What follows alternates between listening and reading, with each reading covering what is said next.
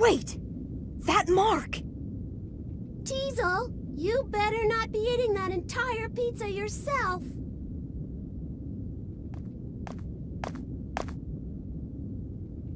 Huh?